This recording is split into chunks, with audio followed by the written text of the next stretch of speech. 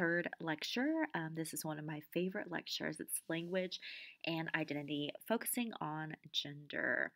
So before we get started with our lecture, I do would like you to um, watch these videos. Um, they're from Harvard Sailing Club. I don't know if that's actually the sailing the sailing team or not, but um, it's pretty funny. Um, I'm not gonna play them here because I do upload my videos on YouTube, so they kind of strip away any any type of uh, copyright violation if you try to upload a video. But um, I think they're very funny, and then they also kind of speak a little bit to um, the kinds of gender performance, right? Um, so there's one um, featuring mostly male identifying cast, and then there's one featuring a mostly female identifying cast. And, and the humor here comes from how they're able to um, switch gender roles. So please do go back and watch them, they are kind of funny. Uh, while you're doing that, uh, make sure to ask yourself some of these questions. So, you know, what are some of the characteristics characteristics used to describe men um, and how they speak, and what are the characteristics used to describe women? How true are these stereotypical characterizations? Um, you know, what are some things that you align with? What are some things that you found were really funny? Um, and you know, to what extent do your personal behavior are consistent with these stereotypes? So, um, you know, the fact that the males are, you know, gathering around trying to imitate females talking about their bodies versus, you know, the females kind of revolving around sports. Um, you know, they do have some basis in truth. So, um, you know, let me. You can also post on the discussion board. You know, your thoughts about thoughts about these. Um, and then later we're going to talk about non-binary gender um, and kind of you know breaking away from the male-female paradigm. So some of the male characteristics you probably saw in the video um, probably had to do with some of these adjectives, right? That um, to be male in uh, you know predominant um, in our society means you have to be aggressive or proud or confident or funny you know, or ambitious, right? Whereas some of the female characteristics are emotional, talkative, sensitive, moody, right? Um, they try to make everyone happy, right? The female in the video, you know, um, uh, or the the female characteristics that the males were portraying in the video talked about you know trying to make sure that no one had um, any objects objections to them going out to dinner before right so these are some stereotypes. Obviously, you know, um, people deviate from stereotypes all the time. Um, and this is not to say that, you know, females have to be this way or males have to be this way. Um, this is kind of culturally uh, the performance of gender. And so when we talk about gender, we really want to um, separate uh, sex from this, biological sex. Um, we'll talk about this a little bit later when we talk about um, transgender and cisgender. Um, but sex, when we talk about sex, we're talking about the biological differences between a man and a woman. Um, you know, this could be your sex uh, assigned at birth. This could be, um, you know, the primary sexual characteristics. Um, this is very different from gender. Gender is something that's socially constructed. Um, if you want to read more about this, highly recommend um, taking some of the women's gender studies classes at UMBC or reading works like uh, Judith Butler or um, Audre Lorde, um, and and and uh, some of the literature that kind of focuses on the um, practices of being feminine versus masculine. Um, so when we talk about gender roles, they're kind of, um, you know, what's expected behavior and what happens when we violate those behaviors. And so there's um, some social consequences that come from uh, not being able to act within um, your gender roles. Um, it's important to remember, though, that gender is learned, gender is taught, gender is enforced by our culture. Um, gender is collaborative, so it's not accomplished by independent action, which means that um, no one says like males are this, right? But it's a kind of a group response um, a group of people determine what a gender is. And so um, and we see in different cultures how, for example, um, in India, there's there's a third gender, um, and that is um, totally fine. There's places in Thailand where there's also, you know, transgender is perfectly accepted. Um, different religions also accept different different genders, right? So gender is something that we do. It's something that we perform children do gender quite consciously. Um, I don't know if you've been to um, a quote unquote gender reveal party. Hopefully, it didn't turn um, into something dangerous. Um, but this is, you know, right before birth, people are assigning gender even before you're born, right? So before you're born, they said, oh, you know, it's a boy or it's a girl, and they'll go out and they'll buy um, pink or blue. You know, uh, dresses and, and or they'll buy a suit or they'll buy, you know, certain color crib, right? So gender is something that's even assigned, um, you know, that that's something that is ascribed to you even before you're born. And then also important to note is gender is asymmetrical and that equality is built into gender at the very basic levels. And we'll see that um, in a little bit with some examples um, in language. So in English, there are terms that refer to both genders and they're always masculine. So um, this is what we talk about when things are marked, right? And so if they're unmarked, it means that the language um, kind of defaults to this term. So if someone is, um, we'll say this person is an actor or this person is an author. Um, that in you know in English we automatically think of this person as being a male, unless we say you know they, this person is an actress or this person is an authoress, right? This or a female author. You know, I love to see that. Um, I'm being facetious here. You probably can't see me, but you know these are terms that mark um, females as being different than males, you know. So these terms are never applied to males. No one would say that they're a male actress or a male authoress, right? Um, and so adding the, the terms like S or saying you're a female nurse or a female um, doctor these have um, not only implications as far as you know it it marks the language, but also has a negative connotation in that they're lesser than. Um, something like an actress is is lesser than a, an actor, or an authoress is lesser than an author, right? Um, if you look at the um, Academy Awards, you know which award comes first, and so, some of the ways in which language encodes gender um, are some traditional terms, right? So, um, if you're able to refer to someone, um, you know, by their title, you would say, oh, Mr., right? Um, and it doesn't really matter whether or not the uh, person in question who um, is identified as a male um, is married or not, right? That does not matter to them. Um, but it matters as far as, um, you know, whether or not you are referring to a female. Um, so people would say, oh, or should we call you Miss or should we call you Mrs., right?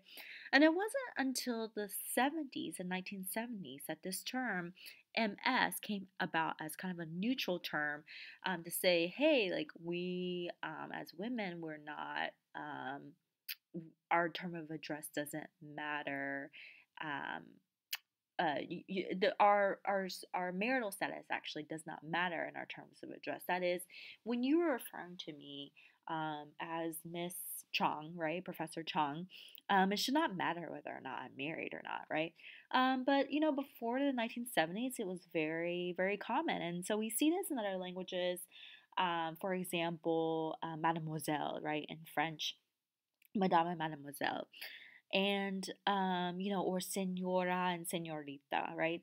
And so, you know, I've asked uh, my students before in in the past who spoke other languages, like, you know, oh, you know, why are you calling me um, senorita? Because you know, clearly I'm older, right? And they'll say, well, you're unmarried. And so I say, so if I'm 60 years old, you'll still call me senorita? And they'll say, yes, because you're unmarried. So there's still some kind of gender encoding. Um, and, you know, this is not to say that Spanish or French are the only languages that, do this, because English does it as well. Um, there's also been a long history of transmission of surnames that follow um, men. So, you know, um, the fact that uh, in societies such as um, United States and also um, most of the Western world and parts of Asia like Japan, we take on the last name of our um, husbands if we're women, right? And um, so that's that's been kind of uh, you know it's it is kind of a gendered role um, or a convention, and even for those of uh, who are unknown gender or generic gender. So you might be reading textbooks that say like um, a person must return to his seat, right? Instead of a person must return to his or her seat, um, and naturally defaults to the masculine pronouns. And this is what we're talking about when we say that there are um, power differentiations in gender. So, um, you know, a lot of linguists would say that this is sexism. Um, in that, you know, looking at the terms here, um, that they put the more powerful entity first, right? And it's usually male. So when you think of things like master and servant, doctor and nurse, mother and child, husband and wife, right? You wouldn't say things like wife and husband. But there's an exception, ladies and gentlemen, right? And a lot of linguists would say that um, that is a bit of a um, condescension, right? And that people think that ladies uh, deserve to go first. It's kind of like a Titanic uh, rule in which, like, um, mothers and their children um, get to go first on the lifeboat. Um, but you know, decide if there's any differences between these, right? Is there a difference between the masculine form and the feminine form? So take examples like master, mistress, or uh, lion, lioness, instructor, instructoress, right? Um, you know, and then also look at the, you know, the terms in which they include a female, like female doctor, male nurse, male prostitute. So, what is the um, the differences? Are there positive? Are there negative associations? And can you describe what kind of morphological changes that mark these terms, right? Um, you know, then when it's marked, it's it's probably because it seems to deviate from the standard.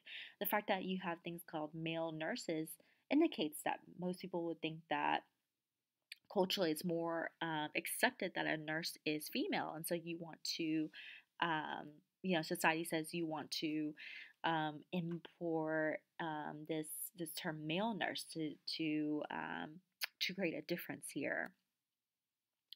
And thinking about the patterns of negative and positive connotation positive connotations there are um, ways in which language has changed right? So um, someone who's a courtier might be someone who's very different from a courtesan, right? Or someone who's a bachelor is very different from a spinster as far as, you know, what do these terms, um, how do they carry in modern society?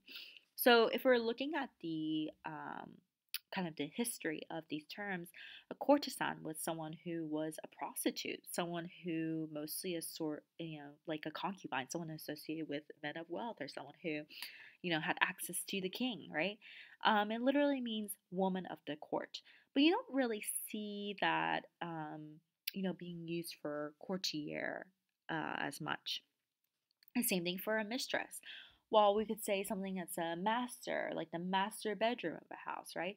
A mistress is something who, um, you know, we would say someone who uh, engages in extramarital affairs. We would not say something, oh, are you the mistress of the house, right? That seems that it's a very um, bad connotation, right? Um, so, so yeah, so the first, um, you know, this is the first definition of mistress, and it really kind of carries those negative connotations. The same thing for hostess, right? Um, hostess is employed, it greets, regularly entertains guests, right? Uh, which might be different from a host. A governess is someone who um, is employed to take care of a child's upbringing, right?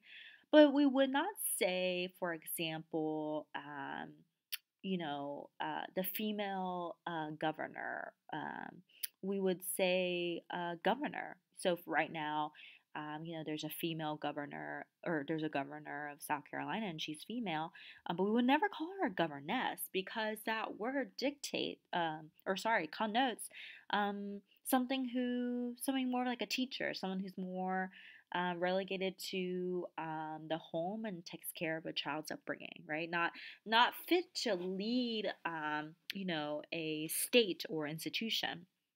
So the fact that governor governess is equivalent to a governor um, is kind of archaic, and it suggests here that we have an example of semantic deterioration, which means that like over time, governor has been upheld as this, the same term, but governess has really um, the the term has led to a very bad connotation. And the same thing for adventurous, right? If someone who's an adventurer, we'd say, oh my gosh, you know, they go to so many places. But if someone who's an adventuress, that might be someone who is um, unscrupulous, questionable, maybe even sexually promiscuous. And um, to give a last few examples, we have madam, right? So I grew up in the South, and everyone, you know, you don't address people as um, their names. You say sir and you say madam. But even madam, even though it seems really polite, you know, you have things like the woman in charge of a house of prostitution is called a madam. So, you know, what does this mean um, in the power differentiations? I mentioned this before the differences between bachelor and spinster, right? Where as someone's called the bachelor, you know, they have a show called The Bachelor, right? This is something that is um, that is uh, you know really um, valued, right? Oh, you get to be a bachelor. You get to spend your entire life, you know, just being by yourself. This is something that's revered. Um, you know, George Clooney, before he had uh, married his wife, he was considered to be a lifelong bachelor, and people really thought that that was um, something to be coveted, right?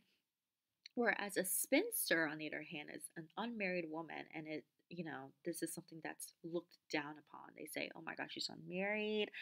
You know, her she will she her occupation will be spinning for the rest of her life because she'll never get married.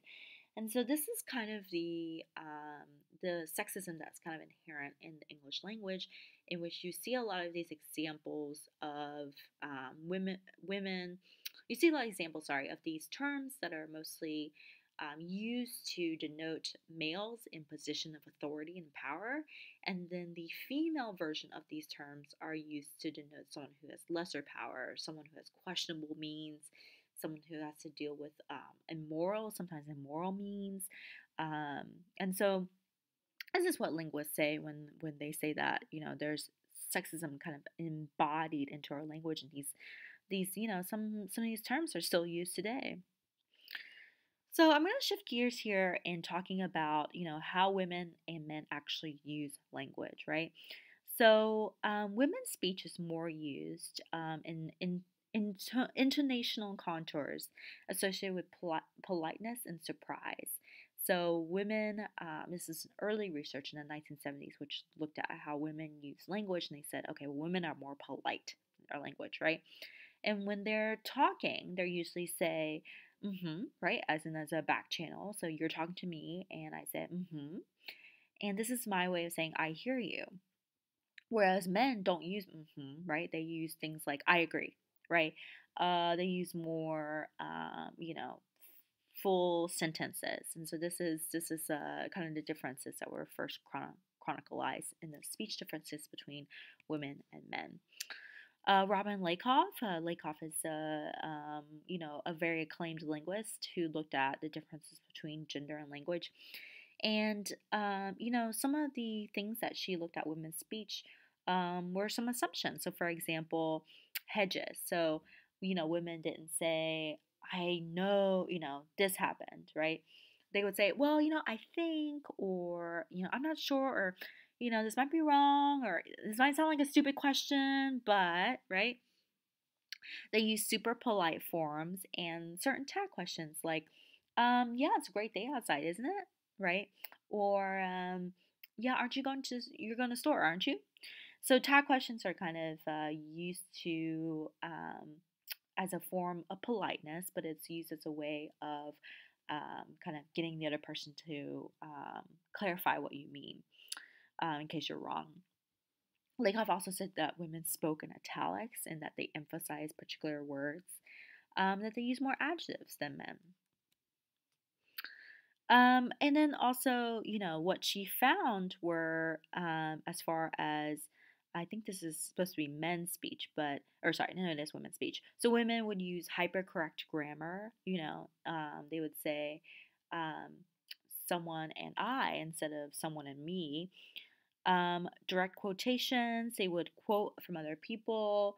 They would use more specific lexicon and question intonation a lot of people would say um, at the very end of their speech, right? They'll have some something more of an uptalk where each line sounds a little bit like a question, like kind of like I'm doing now, right? So this is what um, Lakoff would say was typical about women's speech, and they and she also said that it, they uh, women avoided expletives, coarse language, right? Because that was very um, more masculine in form. Women's speech were also um, tied to gossip, right? Um, in talking about other people. And she said, Is this meaningless? Well, you know, it is a form of bonding, right? They said it was a way of women to talk about their uh, roles and um, talked about their style and um, particular to a certain topic or setting. Now, Deborah Tannen is also another linguist who kind of focused more of her career um, on gendered speech. So she also noticed six contrasts in the way that women talked and the way that men talked. She said there was status versus support. So men would have more of a status role in which they are talking to uh, maintain their superiority versus support, like women would um, you know, when someone would say something to them, they wouldn't try to debate it or they wouldn't try to um, have any sort of status symbol. They would kind of support what the other person was saying. Independence versus intimacy. So, um, you know, men would kind of uh, talk about their um, topics as a form of uh, independent thought versus, you know, this they're not talking as a ways of which to relate to um, to other people advice versus understanding. So Deborah Tannen also talked about how um, when women spoke to each other, they weren't necessarily wanting some advice. So oh, she noted that a lot of women would get upset because when they would talk about a problem, like, oh my gosh, my boss was really rude today, um, you know, the male partners in their life would get upset because the they would offer advice. They would say, well, have you considered X, Y, Z? And that's not really what the women wanted. They wanted more of someone to understand them. She also discovered that men were more into um, gathering information uh, versus feelings, orders versus proposals, um, and then conflict versus compromise. So that's what um, kind of the main speech components, uh, differentiations she saw in between two genders. Um, and I kind of, uh, you know, talked about this here, but you know, men would talk in a very assertive way. Um, they would take longer turns. So a turn is when you are um, linguists use these discourse linguists use these terms as which like t- my turn is is when I'm I'm taking the floor um, and taking the space and talking right. They have short openings and closings. Most of their speech uh, revolved around sarcasm. They're teasing, they're joking each other. Sometimes they use curse words, they use strong language, and it's very adversarial. So if you watch the YouTube videos at the beginning of the lecture, you know they they constantly try to, um, you know, the women that are trying to imitate male speech, they were they were challenging them, right? So it was like men trying to challenge each other. Whereas the women use language in a more social facilitative way. They try to understand people, they try to get their um, their ideas across. It's very cooperative. They took fewer, shorter turns, so they interrupted less. Um, they elaborated their openings and closings. They used stories, but it, it was they used humor in a different way than men, in, in which men would use humor in a mocking tone, whereas women would use more anecdotes. They would use more funny stories, and they would go into these elaborate details more the emotional language, more the hedging, like I think, or, you know, correct me if I'm wrong, right? Kind of words. Um, and they were also very supportive and very polite towards each other. Coates also, uh, you know, replicated some of the, the studies that Tannen did, and she looked at kind of the simultaneous talk, right? Um, and used the tag questions to interact sensitivity, right? To um, try to understand what the other person was saying or to um, as a way of back channeling um, Coates also figured out that women were more overall more attuned to the face needs of the listener. So there's more than just language. If a person's coming to me and they're sad, you know, they have this wretched look on their face. Um, women are more more um, you know attuned to to kind of what the other person was was looking at rather than just what they were saying um, and also by face it's it's um, it could be you know whether someone looks looks um, a certain way but also if they have certain dignity or prestige um, so for example if um, two women are talking and um, you know it's it's very clear that one of them doesn't want to um, talk about a divorce. Women will kind of shift around the subject to not talk about it, right? So this is kind of their um, their attention to face, their attention to their people's dignity and their prestige. Zimmerman and West looked at interruptions, right, and found that men interrupted um, more often than women um, in seeking to dominate the talk, right? So they did a study in which they recorded a conversation between men and women at their community college. Um, and during this time, as older academic studies always did, were, were people who went to college. So people who went to college in the 1970s are mostly white middle class individuals who are under 35. So, you know, this might be very different from today, right? But um, you know, this is kind of the the times in which they were were doing research. And so here's an excerpt. A woman says, "How's your paper coming?" The man says, "All right, I guess. I haven't done much in the last two weeks." The woman says, "Yeah, no, how I that can't, you know, and then while the woman is speaking, the man interrupts and says, "Hey, you got a cigarette?" And the woman says, "Oh yeah, sure," and hands him a pack. Like my, and then the man says, "How about a match?" And the woman is the man's interrupting her again. The woman says, um, "Here you go." Like my, and then the man says, "Thanks." The woman said, "Sure, I was gonna tell you my." And the man says, "Hey, I really like to talk to you, but I gotta go. See ya." And the woman says, "Yeah." So I don't know if you have um, witnessed this in your life, but uh, yeah, this is um, kind of you know the they would count the times in which uh, the woman would take a turn, right? The woman would be speaking, she has the floor, and she would get interrupted by a man. Again, this might be very different um, in today's terms. And so, you know, these are um, different different avenues, right? So it's not only that men and women speak different ways, but they speak different ways in different um, in different avenues in different situations. So in formal public talk, we're talking about um, you know how politicians, how performers, how they are a- you know aiming to inform or persuade people. Um, spoken by people who wish to confirm or claim some sort of degree or public status, right? Um, this in these formal settings, they found that men dominate talking time. So this could be someplace like a workplace setting. The men would dominate committee me- meetings and staff meetings and seminars and task-oriented groups, right? Um, and so the perception is that in these meetings, it's their way of asserting status, asserting their power. So this goes back to um, Deborah Tannen's find, findings in which um, men are speaking to um, in you know to to gather power to enhance their status and to kind of evoke a sense of you know I know what's what I'm doing I know what's going on. However, when they looked at private contexts, um, there's there was a, a little difference. So there are a few differences between men and women in talk time.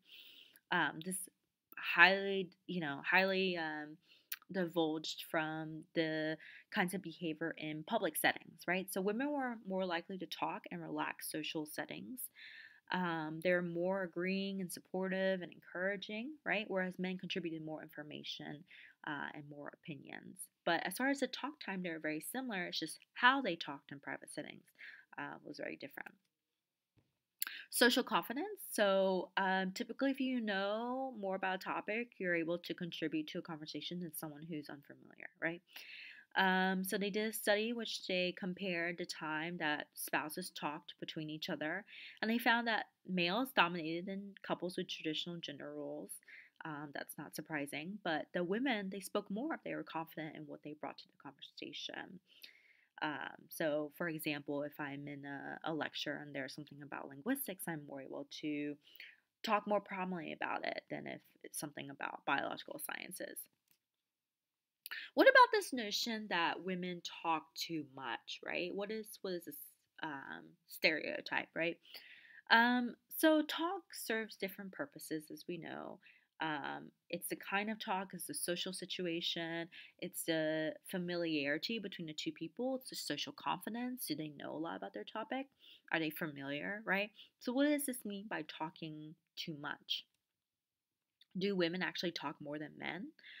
And the research finds that men do talk more than women in formal and in public contexts, but the women talk more in private and informal interactions, especially if they're confident about their subject material. Um, there's lots of different research about, uh, you know, kind of how men talk versus how women talk. And I definitely encourage you for your discussion board post to kind of look at the research um, and to see whether or not that's changed. I am more apt to believe that the more, um, you know, the more women you have in in um, different fields, the more women you have in corporate settings, the more women you have um, in colleges and universities and as professors you know, maybe this dynamic has changed quite a bit. I do want to shift gears to talk about non binary gender language because we did talk about uh, binary quite a bit. And I want to um, show this video. Um, this is from a linguist. Um, and they talk about, you know, the kinds of non binary uh, language and the use of pronouns and why um, throughout time, you know, the use of thou transformed to you. So, when a lot of people say, well, you know, we've been using he and she for ages, like why can't we continue to use he and she, right?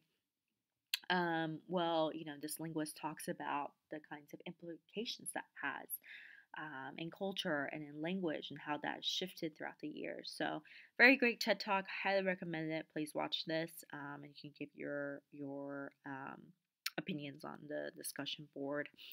And um, I'm not going to go over um, kind of the history of, uh, you know, gender and non binary, but again, it's very important to kind of point out um, these terms when talking about uh, gender identity versus gender expression versus, um, you know, sexual identity and biological sex, right? So, gender identity can be, uh, you know, as a spectrum, um, you know, versus, uh, uh, you know, you have things like, um, how people in your head define your gender based on how much you align or don't align with what you understand to be options for that gender, right? And the options might be changing. Your gender expression could be the ways in which you present gender through your actions, dress, demeanor, and those can be representations interpreted based on gender norms. Your biological sex is something that um, the characteristics that you're born with and develop, including genitals, your body shape, your voice pitch, your body hair, your hormones, your chromosomes, right? So um, these these you know are very different, but they're very um, important to kind of consider the um, the implications it has, especially in language. And so biological sex, I kind of talked about at the beginning of this lecture, but it's depending on physical characteristics, right? Um, and many transgender people prefer prefer the term assigned sex at birth because it recognizes that sex is assigned by others. It's not necessarily what they identify as or what they um, what they express themselves as. Right? It might be very different. Your gender identity is something that's a psychological sense of yourself, um, and it may or may not coincide with their biological assigned sex. So some people identify as neither male or female, um, or they might identify as both male and female. So they could use queer, they could use gender queer. Um, you know, some cultures have gender categories in addition to male or female. They could have a third a third gender, right? Um, some Native American cultures have a third gender. And again, at the beginning of the lecture, I said that gender was a social construct and named in many ways in which we're socialized from a young age, right, according to our assigned sex, but also in the ways in which language. Um, also, gender expression is, you know, any of the mannerisms, personal characteristics that serve to communicate a person's identity and personality as they relate to gender and gender roles. They can be present in people of any sex or gender identity. Um, and again, like we said, it's culture specific, and you'll figure out through the rest of the lectures how closely aligned culture is with language and, and vice versa.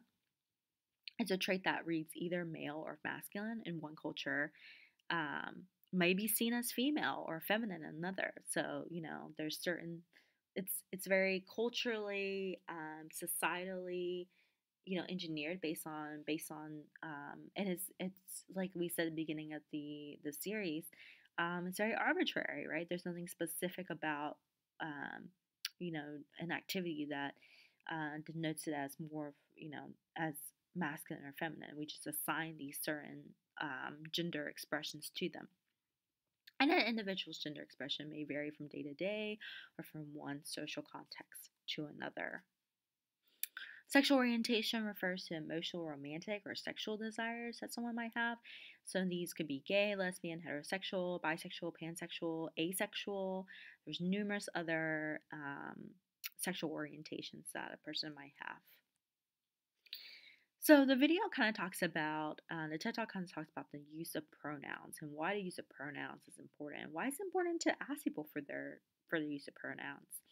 You know, um, there's lots of different arguments on the internet um, about diff- using different pronouns and and why um, this might be um, important to someone and why you should ask. You know, if you don't, if you're not sure, um, you know, I would say 10 times out of 10 that person will not be offended if you ask um, they probably would be offended if you use a pronoun that they uh, do not see them as or you know do not express as so these are examples. It could be you know she could be he could be he could be him could be they or them or could be uh, they or here. So these are ex- examples of um, singular they pronouns. Third sorry singular third person pronouns. And consider the ways in which we see uh, cis normativity. So, uh, you know, cis is something uh, that means like you are um, not only assigned uh, the um, gender that you expressed um, at birth. Um, so you're assigned a gender, but also you you identify with that gender or you align with that gender. So talk about the ways in which you um, see cis norm- normativity in social interactions. You know, so these could be gendered clothing or bathrooms.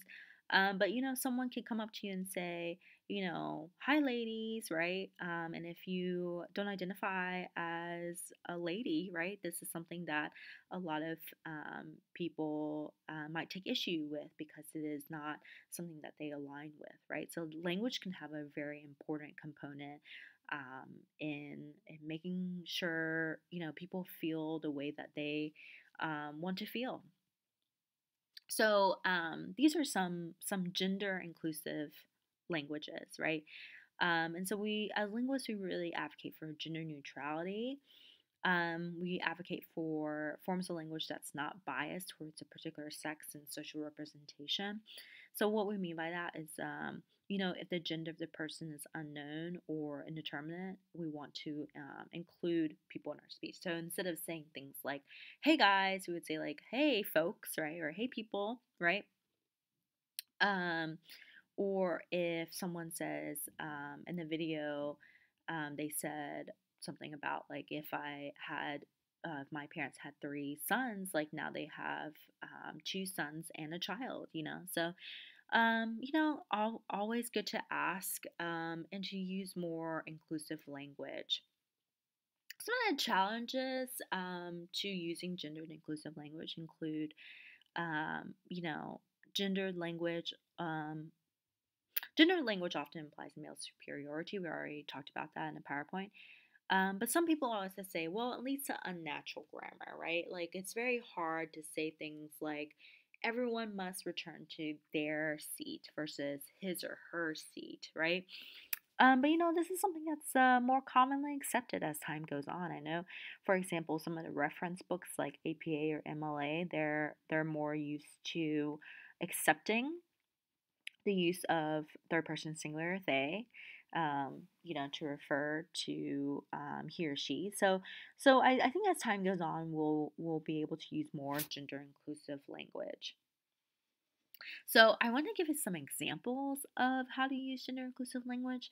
And um, you know, I don't play video games, but I know that a lot of you play video games. So, if you do, please put what video games you play on on the message board and maybe on the discussion board. So maybe your um, your you know classmates can join but so um, you know video games we kind of see them um, as a, a, sphere in which you know um, originally the player's gender was unknown but now all of these you know games come out where you can kind of pick and choose um, you know how to express yourself and a lot of people you know have non they have non-binary characters in video games now which i think is great video games are kind of leading the charge in this this way, right? And so I have some old examples.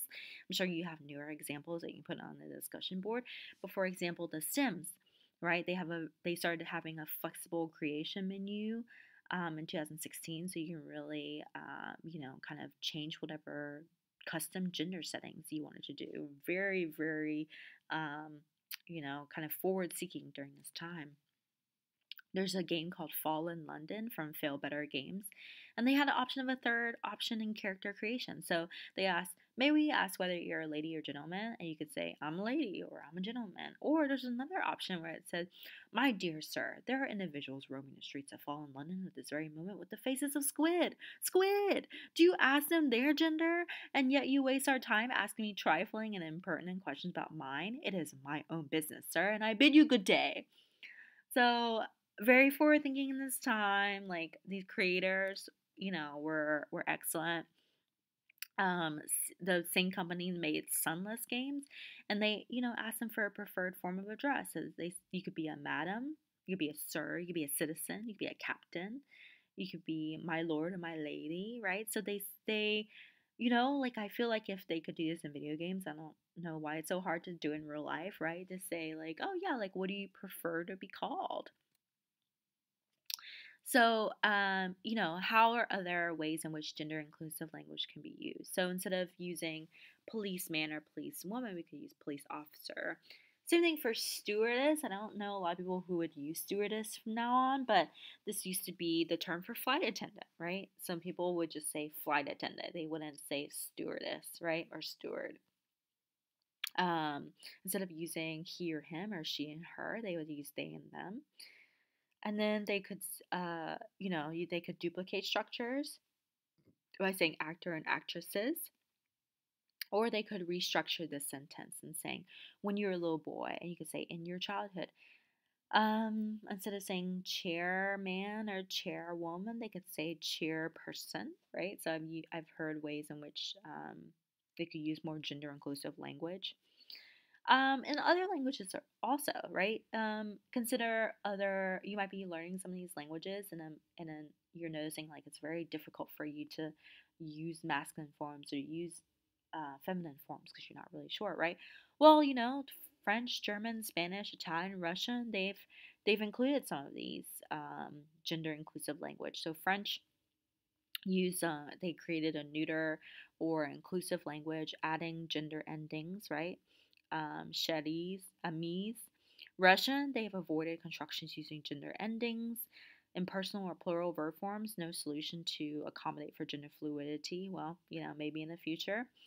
German, they use the word asterisk to, uh, they use asterisk to indicate variations. So like der, die, priester. Spanish, they'll use an at, um, an x or an e to replace uh, at or o. So use instead of being todos. They could use, you know, todas using the at symbol, um, todes, right, or the x. Um, in Italian, they use the word the asterisk to replace a or o. So instead of um, bambino, they could use bambin and an asterisk, right, or an at to indicate plural. Ragazzi, ragazza, right. So, um, yeah, there's different ways, and you know, I think with the creation of internet, I think with the creation of you know these video games that I don't play but maybe you play. Um, there's multiple ways in which we can be more inclusive in the future. So here are the discussion questions for this week. What does gender performance mean? What are the ways in which men or women could perform gender? Can language be considered sexist, right? Is the English language considered to be sexist, inherently sexist? Why is it important to ask people for their preferred pronouns or why not? Um, and in what avenues have we seen more inclusive video games being used, like the internet, for example, or video games? Um, and if you have other questions related to uh, gender, you can definitely post that on the discussion board as well. Um, have fun. I look forward to your responses, and I'll see you on the discussion board.